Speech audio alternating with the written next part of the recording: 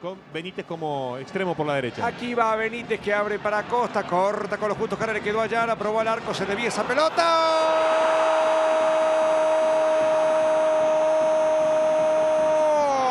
¡Gol!